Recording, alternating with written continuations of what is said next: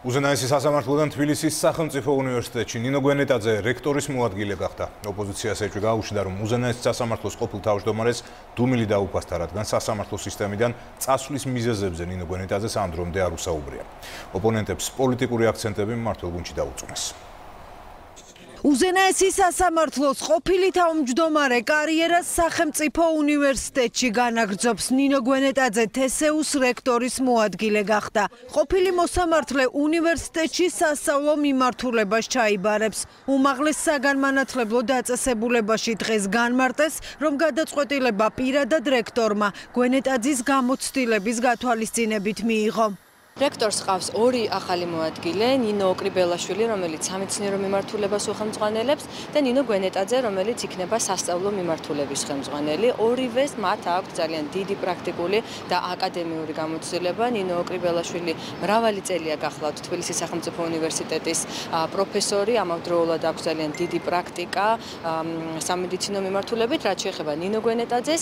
ნინოც სხვადასხვა დროს გახლდათ სხვადასხვა უნივერსიტეტის და მათ შორის ჩვენი უნივერსიტეტის პროფესორი და აქვს ძალიან დიდი გამოცდილება. რექტორი გადაწყვეტილებას მისი მოადგილეების თაობაზე ყოველთვის იღებს მათი აკადემიური გამოცდილების და პრაქტიკული მრავალწლიანი გამოცდილების საფუძველზე.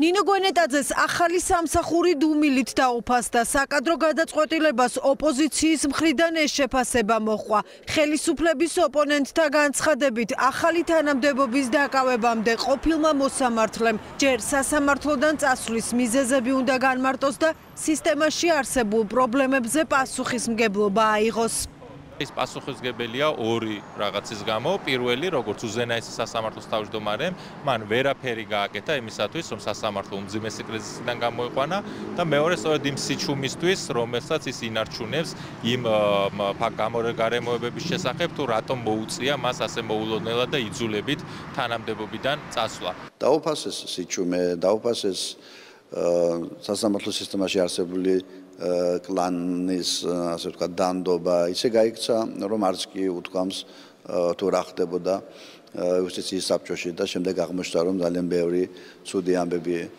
ხდებოდა. დაასაჩუქრეს ხელისუფლების სამსახურისათვის და კომფორტული თბილისის ავარძელი შესთავაზეს რაც ასევე სიგნალია სხვებისთვის რომ თუ ჭკუით მოიქცევიან კონფორმიზმი და ხელისუფლების მსახურება არის წახალისებადი.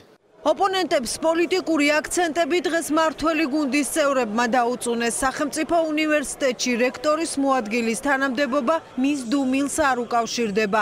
ასე უპასუხა ოპოზიციას პარლამენტის თავმჯდომარემ ირაკლი კობახიძე და გუნდის წევრები თემაზე საუბრისას აქცენტს გვენეტაძის პროფესიონალიზმზე აკეთებენ. ეს არის ისეთივე სპეკულაცია, როგორც სპეკულაციები ზოგადად სასამართლოში არსებული მდგომარეობის შესახებ პლანის თაობაზე არის მხოლოდ და მხოლოდ სპეკულაციები. ამ სპეკულაციების მიზანი არის ერთადერთი, რომ რამენაერად ნაციონალურმა მოძრაობამ მოახერხოს რევანში სასამართლოსთან მიმართებით, რაც მოძრაობას ჰქონდა სრული კონტროლი. ხალბატონი ნინოს შეურაცხყოფა არის, მე მგონი ამგვარი კომენტარების გაკეთება, რომელსაც ის არ იმსახურებს, იმიტომ რომ ხალბატონი ნინო არის პროფესიონალი, ძალიან კარგი იურისტი. ნინო გვენეტაძემ უზენაეს სასამართლოში მოსამართლის მანტია გასულ წელს მოიხსნა. თანამდებობიდან წასვლის ოფიციალურ მიზეზად კი ჯანმრთელობის მდგომარეობა დაასახელა. გვენეტაძე 10 თვეა მედიასთან ურთიერთობაზე უარს ამბობს. დუმილი დღესაც შეინარჩუნა. გუდიაშვილის